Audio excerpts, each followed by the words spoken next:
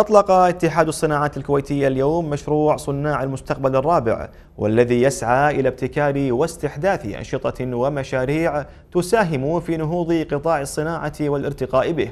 مديرة اتحاد الصناعات الكويتية هدى البقشي أكدت أن المشروع يتضمن برنامجا لتأهيل وتوظيف الطلبة حديثي التخرج أو المتوقع تخرجهم كما يركز على نشر الوعي الثقافي بتنظيم زيارات منظمة للمناطق الصناعية.